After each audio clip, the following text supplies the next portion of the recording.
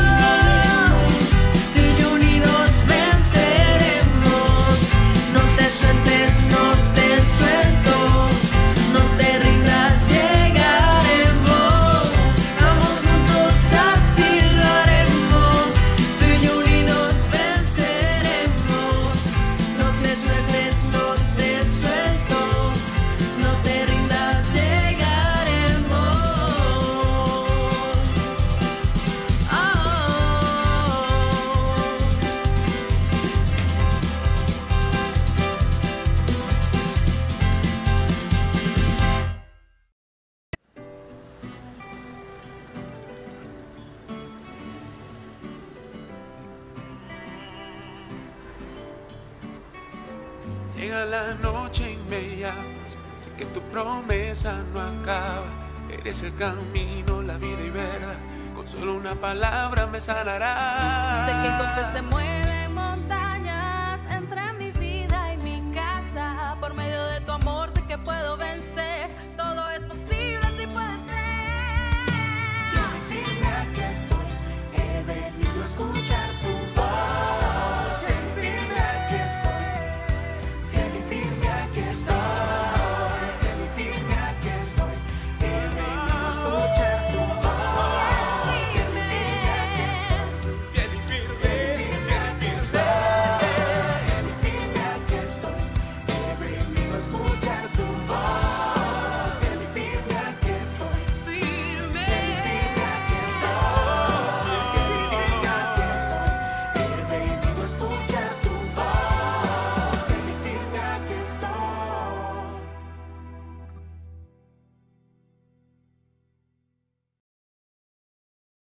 Eccoci qui, famiglia.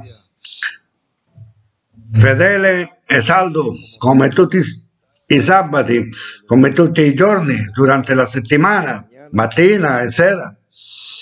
Eccoci qui, in diretta, come sempre. Ma ci sono alcune cose che necessariamente cambiano. Eh, alcune cambiano grandemente, drammaticamente, portentosamente, alcune dolorosamente, altre tragicamente, altre eh, anche se sembra che un giorno è uguale ad un altro giorno, non è così. È un mese uguale ad un altro, un anno uguale a un altro? Non lo è. I sensi e la routine possono ingannare, ma come scriveva Alex Carrillo, titolo forte è quello di oggi. Non permettere che la tua vita finisca come se niente fosse, senza aver alzato la guardia e senza renderti conto che le cose non sono una routine né una continuità, ma che c'è un grande cambiamento. Eppure abbiamo bisogno della prospettiva giusta per poterlo apprezzare. Se tu sei padre di famiglia o madre di famiglia o lo sei stato di un bambino, te ne sarai reso conto che soltanto ogni tanto te ne accorgevi della crescita del bambino. Ma il bambino stava crescendo ogni minuto, ogni giorno. E quando un familiare o un amico smette di vedere quel bambino o bambina, allora quando lo rivede dirà Ah, ma come è diventato grande? Ma i genitori non osservano questo, ma soltanto quando guardano le sue scarpe o i suoi vestiti e se ne rendono conto che ormai le stanno piccoli. E questo è il punto di riferimento. Ah sì, come sta crescendo. Ma se il bambino fosse nudo e scalzo, allora difficilmente potrebbero percepirlo e quando se ne rendono conto è già grande come i genitori. Sono cose che capitano davanti ai nostri occhi permanentemente, ma noi le apprezziamo solo periodicamente. Ma è molto importante che abbiamo una costante visione di cambiamento. Se tutti i giorni mangiamo, se tutti i giorni dormiamo, se tutti i giorni respiriamo, perché non avere coscienza tutti i giorni? Perché la, coscienza, perché la coscienza deve essere solo quando ci sono le riunioni o solo in alcune riunioni straordinarie dove qualche parola ha toccato alcuna fibra profonda e nascosta del cuore.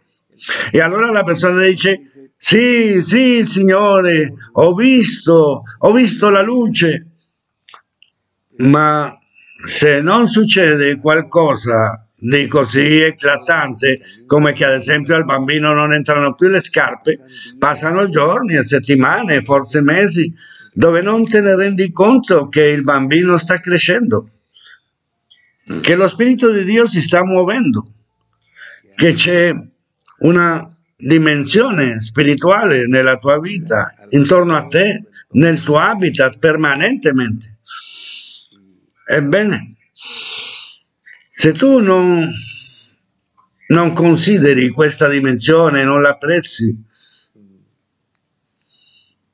giorno dopo giorno e durante la giornata, ora per ora e in ogni ora, momento per momento, è come se tu respirassi solo ogni tanto, ogni tanto, o come se tu ti affidassi alla meccanica.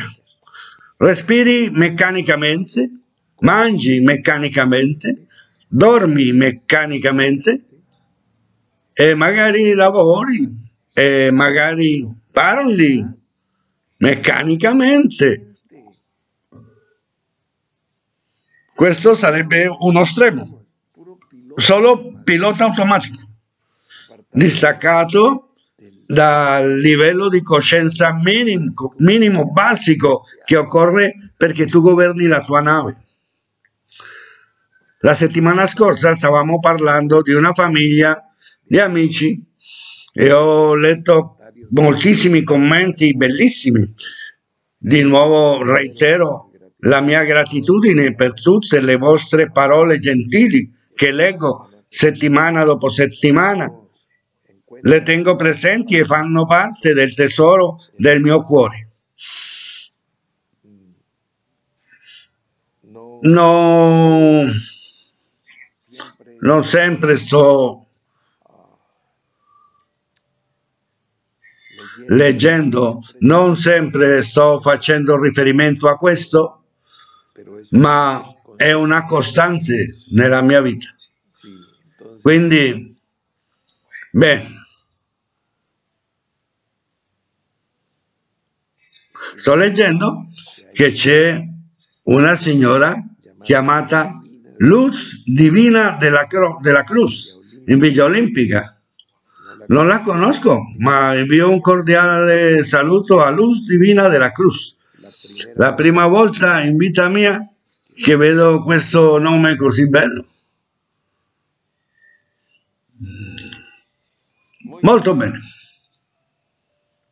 Bene, eccoci qua. Allora vi stavo dicendo che la settimana scorsa la riunione era a quest'ora, che nell'orario delle Americhe sono le sette e un quarto circa, ma qui è già domenica. E otto giorni fa vi dicevo che voi eravate nel giorno 22, ma io ero già nel giorno 23, festeggiando quel anniversario, quel momento così importante della mia vita. Grazie di nuovo, lo dico a tutti voi per essere stati così solidali e per avermi circondato di affetto in momenti come questo, che più che un momento è una pietra miliare. Come vi ho detto è la data più importante di tutta la mia esistenza, della mia lunghissima esistenza. Ebbene, l'ho potuta vivere e condividere con una famiglia di amici e quello è stato per me la cosa più significativa perché è questo che stiamo costruendo. Perché se guardiamo sul piano naturale famiglia ce l'abbiamo tutti. Sia che mi chiamo Perez, Rodriguez o Martinez o Peña o qualunque cosa sia tutti abbiamo familiari e parenti vicini e lontani.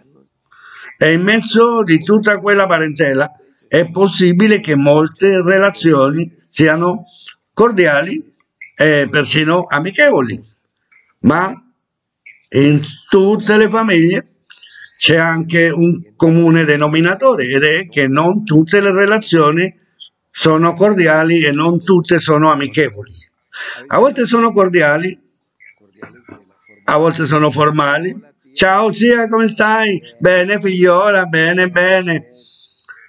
Ma è un protocollo familiare è quella cordialità dell'educazione, sia la gentilezza di un santanderiano, sia la gentilezza del costegno, la gentilezza del bagiuno, la gentilezza che si può trovare nel Cauca, in tutte le regioni della Colombia e anche nell'Equatore, in Perù, in Honduras, uno trova persone molto gentili. Ma non mi riferisco a quella gentilezza che fa sì che le relazioni non siano aspre, ma siano come lubrificate dalle buone maniere, dalle parole suavi, senza, senza sprezzi. Ma da lì all'amicizia ce n'è moltissima, moltissima strada, moltissimo spazio. Guardate, ancora stanno arrivando persone e, salutano. Sono le eh, e 17 minuti. Mm. Convenevoli, dice Alex Carreggio, sì, ma quando escono dal cuore le guardiamo subito nel nostro cuore, perché vanno da cuore a cuore. Quando sono parole che escono dal cuore di qualcuno, sono tesori che devono essere guardati nello stesso posto. Ma quando escono dalla cordialità, sono per metterli cordialmente in qualche angolo dell'oblio, perché non hanno valore in se stessi. Dunque, vediamo, in quella riunione di amici, di una famiglia di amici che abbiamo avuto la settimana scorsa, stavamo enfocando los 40, focalizzando i 46 anni e abbiamo citato che questo era l'argomento che avevano presentato i giudei al Signore, che il Tempio era stato costruito in 46 anni. Come era possibile realizzarlo in tre giorni? Ma quello che il popolo non capisce quando parla con un vaso di ossa, sangue e carne è che lo spirito profetico è quello che può stare parlando in quel momento. Ed era così quando Gesù stava parlando. E allora disse che il Tempio sarebbe stato rialzato dopo due giorni, al terzo giorno. Ah, ma come gli viene in mente? Perché erano andati a guardare letteralmente. Letteralmente il Tempio è stato costruito in 46 anni. Beh, simbolicamente quello è stato il tempo letterale che si è compiuto nella mia vita per poter costruire ciò che a partire di adesso è a disposizione di voi tutti.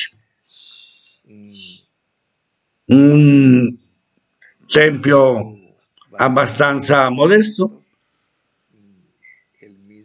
il tempio che è stato alzato ai tempi di Neemia di Esdra sembrerebbe lusoso paragonato con quello che ho potuto alzare io, ma è,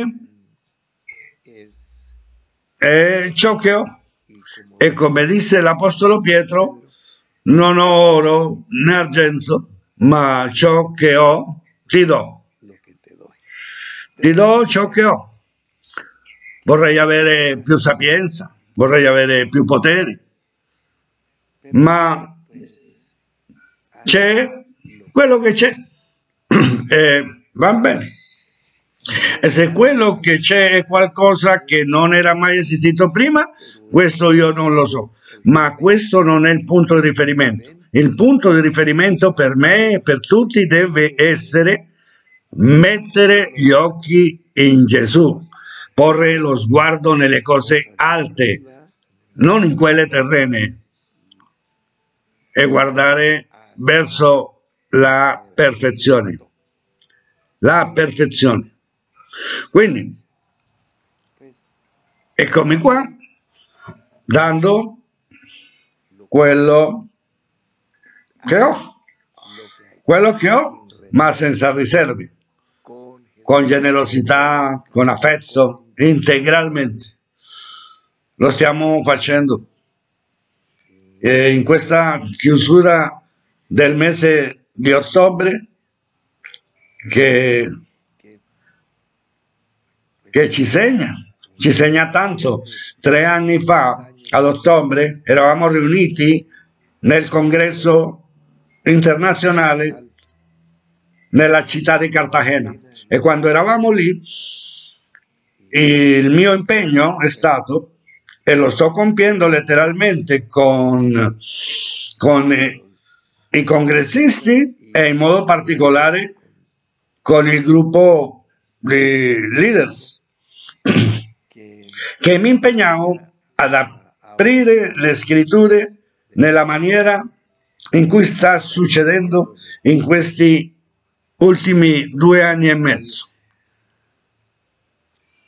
in una maniera come non lo è mai stata prima. Mi sono impegnato con tutti e sta succedendo. Lo sto facendo. con, cosa? con lo, Con quello che ho, non con quello che non ho. perché è la volontà disposta che viene accettata a seconda di quello che si ha e non di quello che non si ha. Quindi, sì, mi sarebbe piaciuto essere in grado di girare per i cimiteri di Cartagena o di Valledupar o di Bogotà o di Medellin o di Cali e andare in giro rialzando i morti dai sepolcri, ma questo non è successo e forse non succederà mai. Ma sarebbe meraviglioso poter avere quel potere della scienza, scienza finzione, di una teologia infantile che sta aspettando che Dio agisca a fianco a te e non che Dio aspetti che tu agisca con la fede che Lui ti ha dato.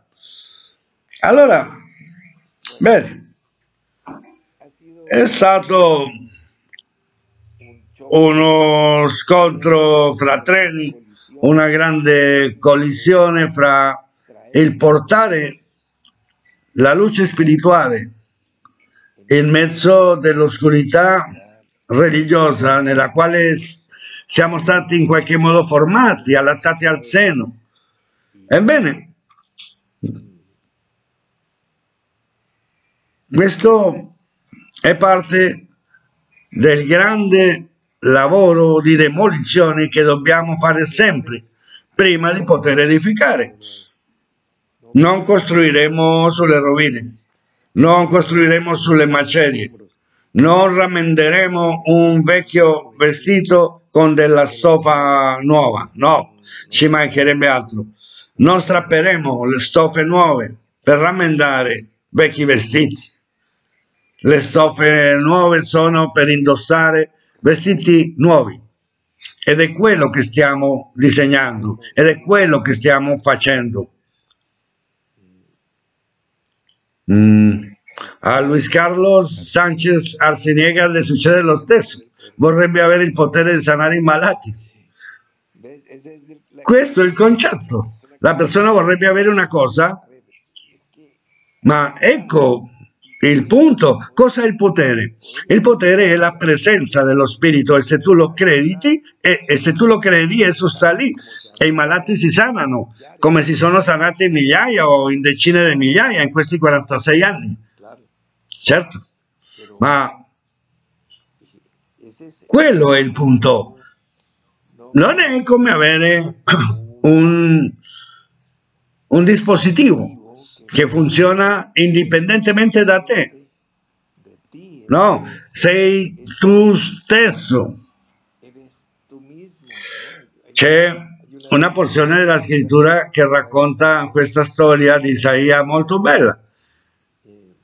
E, e in una delle versioni cattoliche dice nel capitolo 49, versetto 5 di Isaia, dice, lui è la forza della mia forza. Sì? Nella Regina Valera dice semplicemente che lui è la sua forza. Ma quest'altra dice, lui è la forza della mia forza, la presenza intrinseca di Dio in te. en ti E vabbè, abbiamo Freddy Chavez dando soluzioni ai problemi di tutti. Molto bene, bellissimo. I malati si sanano se tu lo credi con tutto il tuo cuore, caro Luis Carlos. bene, questo è il punto. Stiamo in questo processo che è la parte più lunga da fare. Eh, anche entrando già in Canaan, stando nella terra della promessa, ma dall'entrare nella terra della promessa, che nei giorni di Giosuè, finché compaia Gesù risorto, c'è da camminare moltissimo. Si devono combattere molte battaglie, conquistare molte città, demolire molti altari. E si, al- si alzeranno giudici e liberatori e re e divisioni dei regni e tutte queste cose finché, finché sorga nel tuo cuore, nella tua vita, il Redentore, il Messia, il Salvatore, il Cristo. Il resto sono concetti e concetti e concetti e concetti teologici, te- formule teologiche, atrio, santo e santissimo, e questo e quello e quell'altro, eccetera, eccetera. E allora, bene, come diceva oggi il fratello Luis Laguna, che è un amico, un suo vecchissimo amico e di molti di noi, ma amico del fratello Luis da moltissimi anni, da prima di conoscere io il fratello Luis, e io lo conosco da più di mezzo secolo.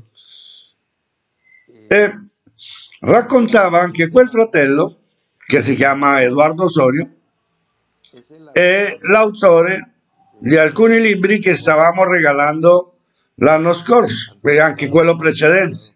E ancora ne abbiamo centinaia e centinaia di libri di questo fratello, Edoardo Osorio, e li stiamo regalando a tutti quelli che compiono gli anni, ossia stanno lì a disposizione, ma è che noi abbiamo tante buone idee, ma che non mettiamo in pratica.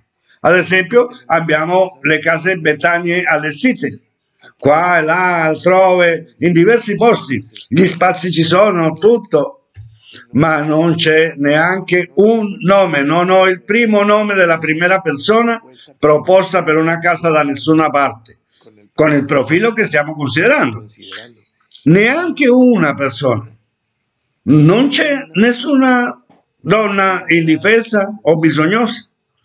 Quindi siamo dinanzi alla meravigliosa notizia che si sono risolti i problemi in America e hanno cominciato a risolversi dalla Colombia, perché volevamo aprire casa Betania anche in Ecuador, in Perù, in Honduras, forse in Messico, forse in Venezuela e anche negli Stati Uniti, che ne so. Ma niente, non c'è mi diceva il fratello Luis che questo fratello Edoardo Sorio stava compiendo gli anni lo stesso giorno dei miei 46 anni. Lui compiva 70 anni. Guardate, questo fratello Edoardo che ci ha regalato tutti questi libri che sono lì a disposizione di, di voi tutti, basta disegnare il canale per poterli consegnare e stanno lì. Sono stati offerti per essere regalati. Allora, bene, ci dice Lusdari Londogno che lei ha libri del fratello Edoardo. Bene. Allora, 70 anni ha compiuto il fratello. Guarda che data simbolica. E questo fratello Edoardo si è sposato ed ha avuto dei figli con una famiglia colonna della Chiesa, colonna storica della Chiesa, con una nipote della sorella Inesita de Morantes, Inés Vera de Morantes. E allora Edoardo Osorio ha sposato una nipote di Inesita chiamata Marianne, una preziosa sorella che è partita già alla presenza del Signore. Abbiamo tutta una chiesa gloriosa dietro il velo, con molti santi e molti dei migliori stanno là. siamo rimasti qui quelli che dobbiamo ancora da imparare. Eh, e stiamo imparando. Bene, allora. Scusatemi un momento.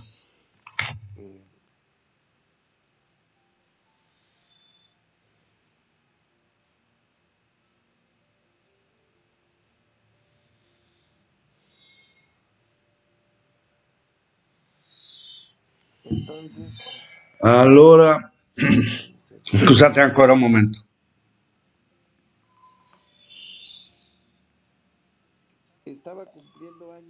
Stava compiendo gli anni questo caro fratello Edoardo eh, 70 70 anni, simbolico. eh, Io ho saputo oggi che compiva lo stesso anno, dico lo stesso giorno, la stessa data della mia nuova vita, il 23 ottobre. E per tanti anni ci siamo frequentati. merodeándonos y, E lo stesso fratello lui lo ha saputo oggi che ha parlato con lui. Allora, va bene.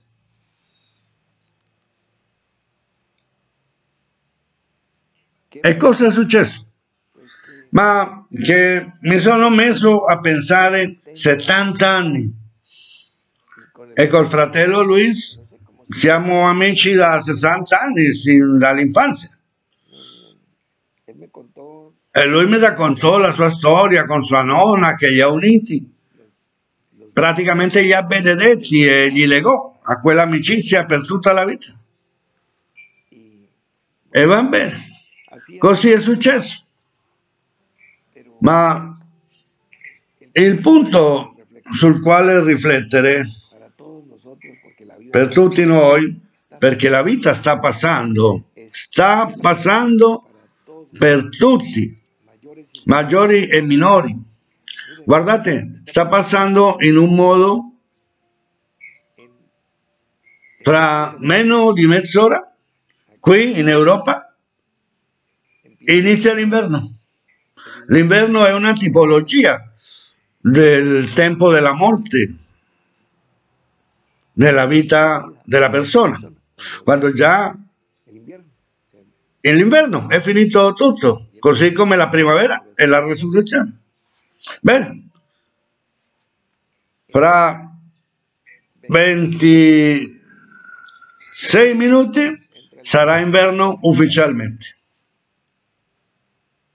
Domando, fratello, sorella, il tuo inverno in quale momento arriva? Hai coscienza di questo?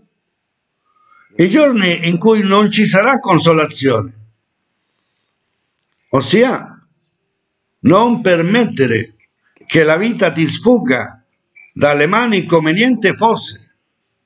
Siamo in questo ottobre e non soltanto ci siamo riuniti tre anni fa ad ottobre, ma cinque anni fa la sorella Nora il 30 ottobre stava facendo quello che lei sapeva fare. Edificare, consolare, animare, benedire. E allora l'ultimo messaggio che inviò dal suo telefono era per salutare la sorella Danubia che compie gli anni il 30 di novembre e la salutiamo anticipatamente. Ma guarda, fino alla fine, compiendo con tutto e con tutti, compiendo con quella integralità, con piena coscienza di tutto.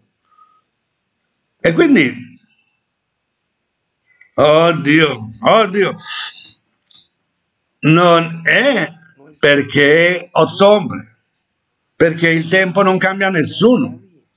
L'inverno non cambierà nessuno, né la primavera cambierà nessuno, né Dio cambierà nessuno. No, no tu devi cambiare con il potere di Dio sì, ma tu devi cambiare, tu devi prendere delle decisioni, devi fare le cose, sì? Sì? Questo è il punto.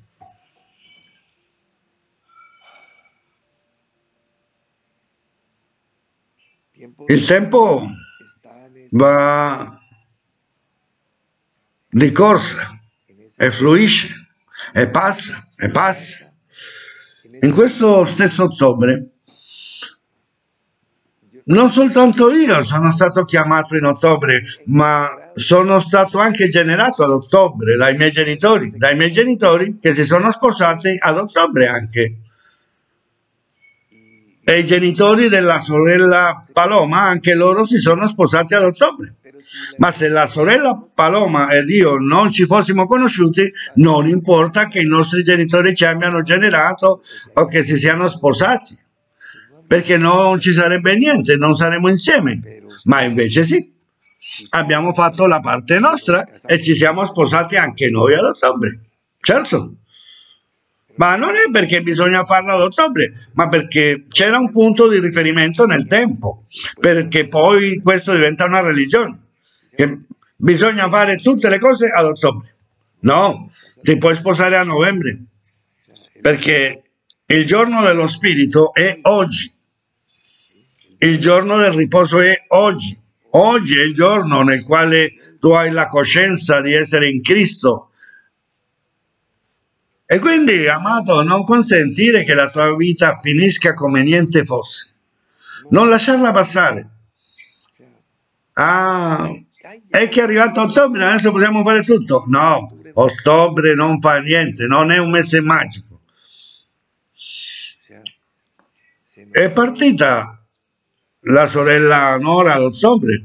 Guardate, dai primi 12, i miei primi 12, primeros adesso ad ottobre se ne è andata un'altra di quelle 12 colonne.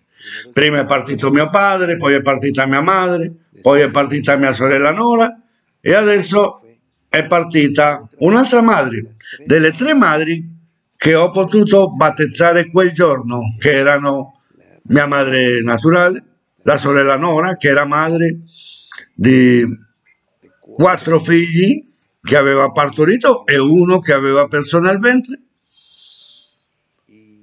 e la sorella Rosalba Moreno de Laguna, la madre di quel patriarca che voi conoscete che si chiama Luis Laguna. Anche lei è partita adesso, ad ottobre.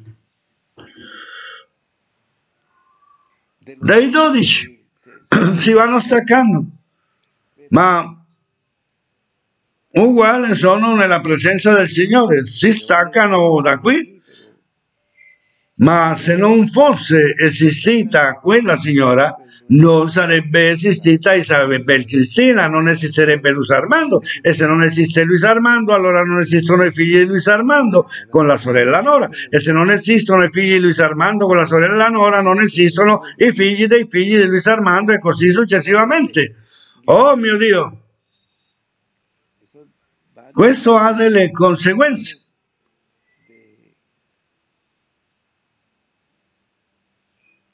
de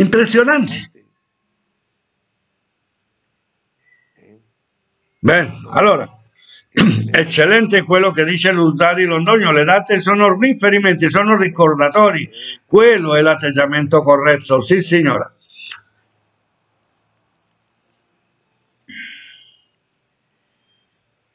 Bene, quindi questo condivido con voi, fratelli miei, siamo in mezzo al turbinio dei tempi, ma se tu vuoi che ottobre rimanga segnato nella tua vita, allora hai domenica 30 e lunedì 31, se Dio ci dà vita, perché tu non permetta che la tua vita finisca così come sta finendo il mese di ottobre, come niente fosse.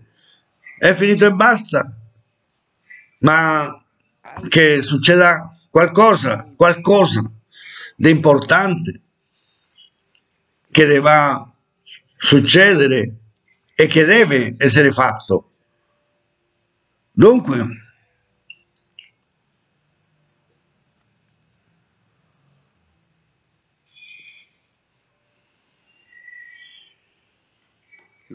la cosa migliore che possiamo fare, meglio che inviare degli emoticon al fratello Luis, è cambiare le nostre vite e questo migliorerà la vita del fratello Luis. Trasformare le nostre vite, trasformare la vita delle nostre famiglie, arricchirla integralmente, manifestare Cristo in maniera gloriosa, ma non in modo sporadico, non come gli starnuti. No, No, ogni tanto c'è uno starnuto, ogni tanto si sana un malato, ogni tanto Dio risponde una preghiera. No, no, no, no, usciamo da questa condizione che non ci sia solo una cosa soprannaturale nella tua vita, ma che sia tutto, tutto. Che tu viva in Cristo. E lì tutto è trascendente, tutto è pieno, tutto è vivo, tutto è così. Non è che lo spirito si manifesti nella materia. No, no, è vivere nello spirito, camminare nello spirito, parlare nello spirito. Questo è il punto. Bene, non voglio affaticarvi e nemmeno voglio parlare finché finisca ottobre in nessuna maniera. Sì, uno stile di vita soprannaturale, dice Annibal Martin. Sì, signore.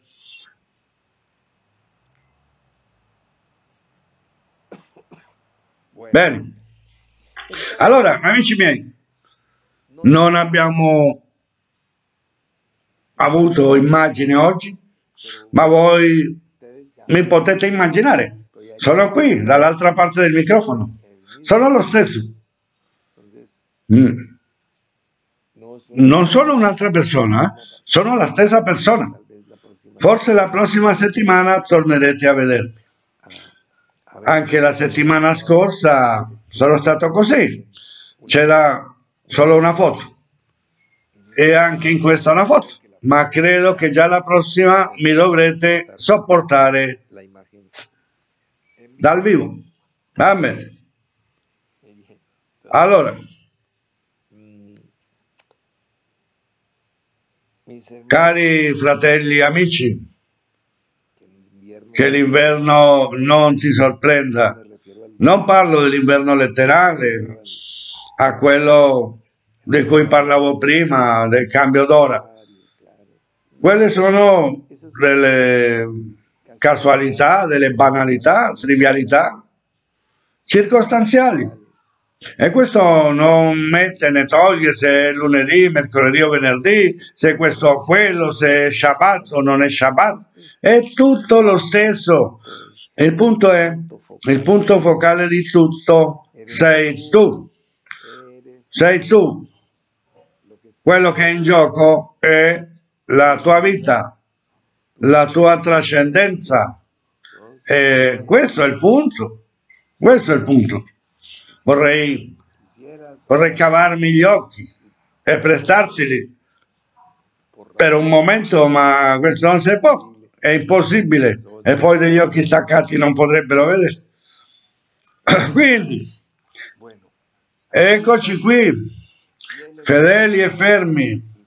E staremo trasmettendo di nuovo lunedì. Ci sono serie preoccupazioni nel senso che sembra che non c'è interesse per le cose. Ad esempio la Casa Betania, ad esempio i libri di Edoardo Osorio. Uno pensa che diranno, oi sì fratello, mandaci i libri. Ma no non succede niente. Nessuno dice niente. Guardate, abbiamo 50 signore e signorine, madri, capofamiglia da aiutare, 100 donne, abbiamo 1000 donne. No, neanche una, neanche una. Siamo già a 30 ottobre 2022 e non ho ancora il primo nome di donna che mi sia stato inviato. ma non voglio che tu scriva un qualsiasi nome, ma letteralmente il profilo della donna che vogliamo proiettare ed aiutare. Infine, bene, un abbraccio per tutti, eh, ricevetelo sin d'ora perché ci prenderemo un minuto per, pre- per pregare. eh, Una modalità nel caso dei libri potrebbe essere che semplicemente così come state scrivendo adesso lì, Linda Sofia, Ray Chavez, Byron Beltran, che scrivano lì nella chat, nella chat di oggi. Può essere. E a tutti quelli che scrivono nella chat di oggi le faremo arrivare almeno un esemplare del libro del fratello Edoardo. In questo modo è semplice. Ma non devi scriverlo più di una volta per non confondere la squadra di War. Con una sola volta è sufficiente. Bene,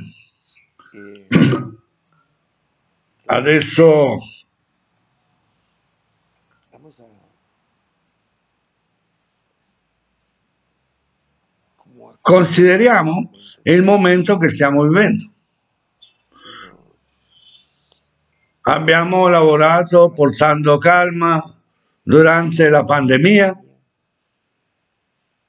Ora sembra che il mondo sia sull'orlo di una terza guerra mondiale, che sarebbe una guerra nucleare. Noi stiamo dando un messaggio di calma e di tranquillità, di fiducia, ma non di indolenza né di ignoranza. Stiamo dicendo svegliati tu che dormi, alzati dai morti. E questo però non queremos Non vogliamo spaventarti con i problemi della crisi mondiale, dell'economia. No, no, no. Tranquillo. Tranquilli tutti. Ma è